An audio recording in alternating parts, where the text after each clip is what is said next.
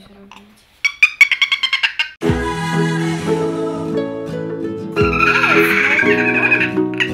To jest tak ruchliwe zwierzątko, że no wszędzie go pełno, non stop gdzieś tam nam wchodzi pod ręce, e, pod nogi, dlatego tutaj ma taki kojec specjalny, w którym w ciągu dnia siedzi.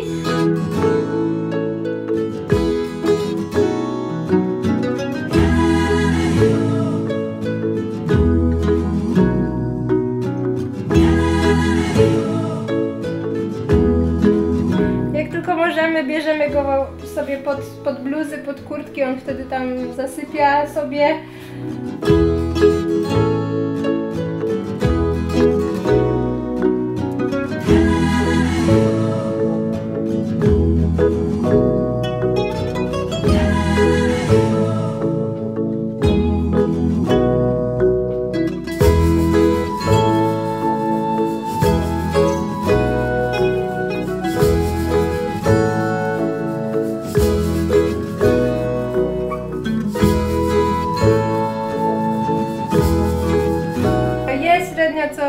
3-4 godziny, w nocy też.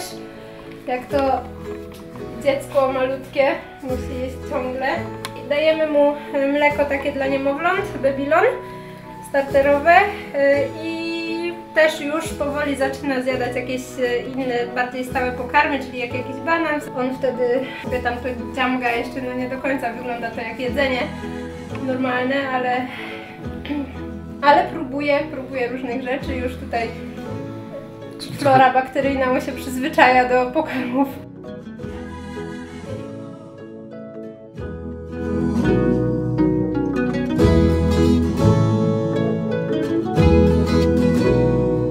Ma mimikę taką zbliżoną do ludzkiej, bo się uczy od nas. Czasem potrafi się uśmiechnąć, zwłaszcza jak kogoś nie widział długo i potem e, a go zna.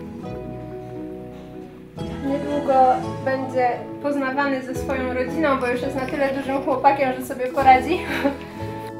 E, Ma nieco ponad dwa miesiące.